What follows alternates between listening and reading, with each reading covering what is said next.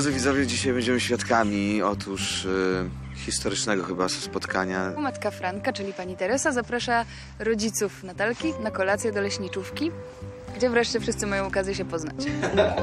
Bez paniki, jakoś sobie damy radę. No i zobaczymy, co, co, co z tego będzie i czy rodzice się polubią. Przychodzi taki moment, że pojawia się kandydat i przychodzi. I myślę, że to jest naprawdę stres dla jednej i dla drugiej strony. Zresztą co tak trochę wynika z tych scen. A to właśnie O, tak. a to jest właśnie przyszła dziesiąta. będzie fajnie. No.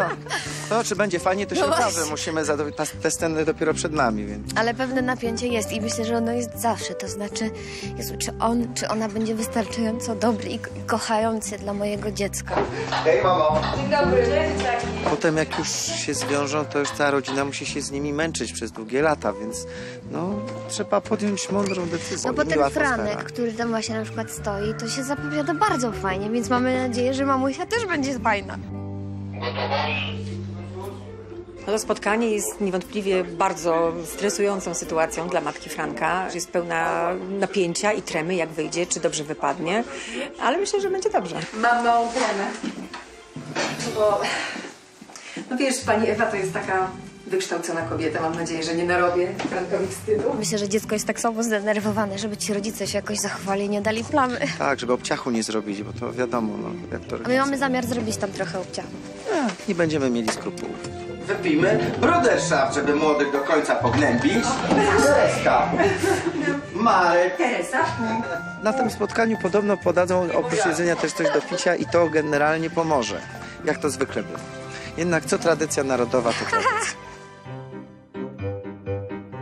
Natalka wyobraża sobie tą kolację, że będzie taka trochę, trochę sztywna, e, ale no cieszy się, bo robi się już tak trochę poważniej, skoro poznają się ich rodzice. Żyjemy w takich czasach, że ludzie coraz rzadziej spotykają się razem, ale myślę, że takie spotkania mają sens jak najbardziej. Bo trudno sobie wyobrazić, żeby rodzice na przykład poznawali się na ślubie, więc myślę, że to jest fajny początek wspólnych kontaktów. Większość młodych ludzi to, to nie, jakoś tak dla nich nie jest to ważne. Też zastanawiają się po prostu po co. A może też y, to wynika z tego, że coraz bardziej wstydzimy się rodziców. Nie wiem, może tak. Ale pani Tereso, ja uważam, że my jesteśmy super babki. Niczego nam nie brakuje, prawda? O, potwierdzam. Fajnie jest, jak rodzice e, młodych się nawzajem e, dogadują, no ale jak nie, to trudno. Trzeba Właśnie. żyć dalej. Z- Zobaczymy, co się wydarzy na kolacji.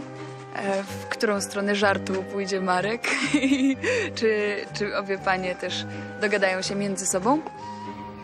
No i jak, jak zareagują na to Natalka z Frankiem, ale myślę, że możemy być dobrej myśli.